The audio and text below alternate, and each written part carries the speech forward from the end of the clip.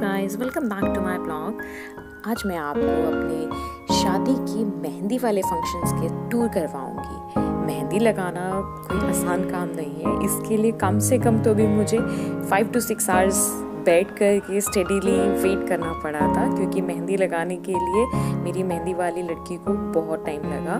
पहले तो उसने एक हाथ का स्टार्ट किया, फिर दूसरे हाथ का, फिर पाँव का तो इसके लिए रात के अप्रॉक्स छः बजे हमने शुरू किया था और एक बज गए थे मेहंदी लगाने के लिए, लगाते लगाते। बाहर लेडी संगीत हो रहा था, उसको मैंने कुछ क्लिप्स लिए हैं, वो दिखाऊँगी। अभी मैंने अपने पापा के साथ फ़ोटो खिंचाई, पापा ने मेरा सपोर्ट किया, पापा भी साथ में बैठे रहे, दीदी हैं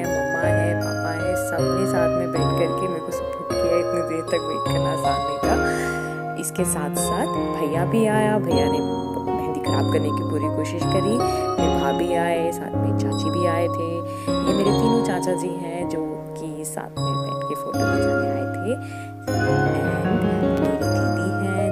मेहंदी लगाना शादी वाला तो हुआ लास्ट टाइम ये कि इतनी ज़्यादा मेहंदी मैंने लगाई। हाथ पाँव भी ऊपर ऊपर तक लगाती थी मेहंदी तो काफ़ी टाइम इसी वजह से लग गया था। बट लाइफ में एक टाइम तो लगाना ही पड़ता है शादी में। सो so, काफ़ी इन्जॉय किया था। अब आज एक साल हो गया है कंप्लीट मेहंदी को। और अगर आपको मेरी शादी के दूसरे फ़ंक्शन की वीडियोज़ देखनी है फ़ोटोज़ देखनी है तो प्लीज़ लाइक कीजिए शेयर कीजिए सब्सक्राइब कीजिए। Thank you